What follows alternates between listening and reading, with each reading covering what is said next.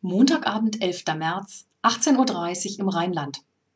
Haben Sie eine Idee, was gerade vor meinem Bürofenster stattfindet? Ich sag's Ihnen. Es schneit, als gäbe es keinen Morgen mehr. Heftig. Zu einer Zeit, wo man sich eigentlich bunte Blumen und Sonne wünscht. Und wissen Sie, wonach mir jetzt gerade wäre? Ich würde mich jetzt gerne mit einem guten Buch und einer Tasse Tee aufs Sofa legen und meine erste Winterdepression 2013 nehmen. Apropos Depression. Haben Sie eigentlich eine Ahnung, dass bereits 9 Millionen Deutsche an Burnout erkrankt sind?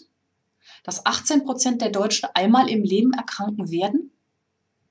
Dass jeder fünfte deutsche Erwerbstätige, also 20 Prozent der Arbeitnehmer, Gefahr laufen, in den nächsten Jahren an Burnout zu erkranken? Diese Zahlen sollten Sie nachdenklich machen, denn als Unternehmen kommt da einiges auf Sie zu. Das eine sind die Kosten. Denn Burnout ist nichts, was man so wie eine andere Krankheit mal eben mit ein paar Medikamenten innerhalb von 10 bis 14 Tagen auskurieren kann, sondern Burnout betrifft die Menschen langfristig. Und nicht nur die Menschen, sondern auch Sie als Unternehmen.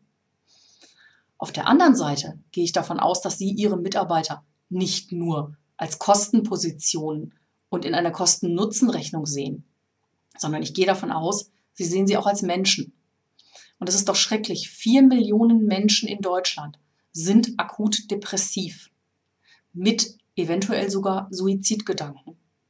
Wie würden Sie damit umgehen, wenn Ihr Arbeitnehmer morgen nicht mehr am Arbeitsplatz erscheint, wenn er nie mehr kommt? Das macht nachdenklich, oder?